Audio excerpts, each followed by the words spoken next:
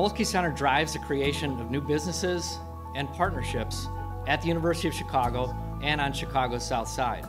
Today, the University of Chicago and the University of Illinois at Urbana-Champaign are launching a new partnership dedicated to research and technology development and commercialization to help address some of society's most pressing problems.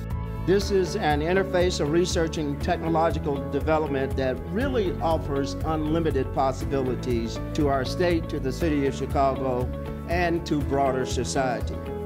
It's one thing to have all that research and all that opportunity going on here, but then to make sure that it's felt throughout the South Side is a, a mission that speaks volumes about the character of the university. Today is a historic day. Today is a watershed moment in the economic development of the state of Illinois.